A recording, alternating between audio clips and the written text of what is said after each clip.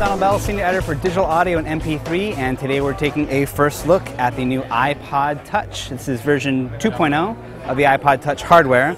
The actual firmware on here, version 2.1, is available for both the new iPod Touch and the prior version of the iPod Touch. The new improvements to the hardware include a, a rocker switch, a volume rocker switch on the side. There's now a built-in speaker in the iPod Touch.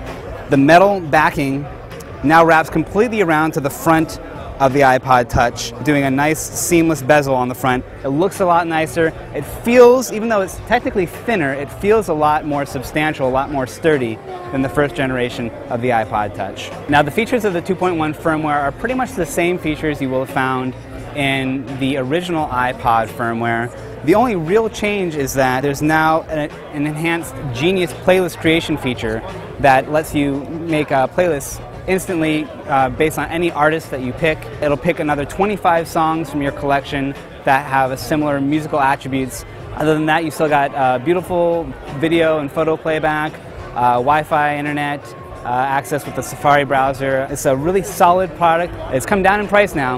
You can get the 8 gigabyte version of the iPod Touch for $229, 16 gigabyte for $299, and a 32 gigabyte version for $399. I'm Donald Bell, and that was a first look at the iPod Touch 2.0.